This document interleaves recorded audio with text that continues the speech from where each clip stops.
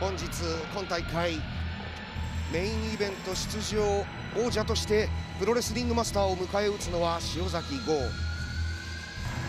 2009年9月27日にはその塩崎と GHC ヘビー級選手権試合も経験している存在がやってまいります。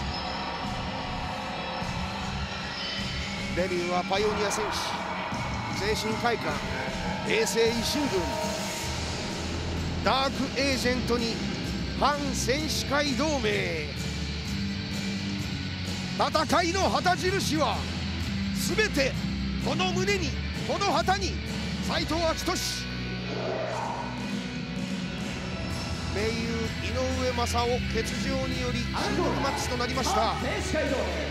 270パンの斎藤斎藤明俊天にを捧げてから2010年12月5日以来の日本武道館。